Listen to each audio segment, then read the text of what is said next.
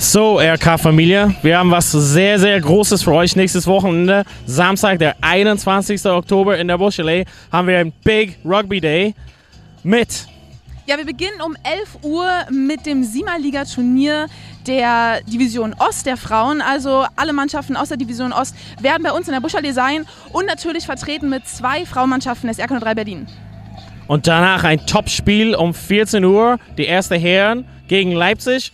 Nicht vergessen, 14 Uhr, erste Herren gegen Leipzig. Und dann um 16 Uhr geht's weiter mit unserer zweiten Mannschaft. Die spielt gegen gegen Leipzig auch, die zweite Mannschaft von Leipzig. Also es wird wirklich ein Big Rugby Day. Sei dabei, RK03, die ganze Familie, das Wetter wird schön.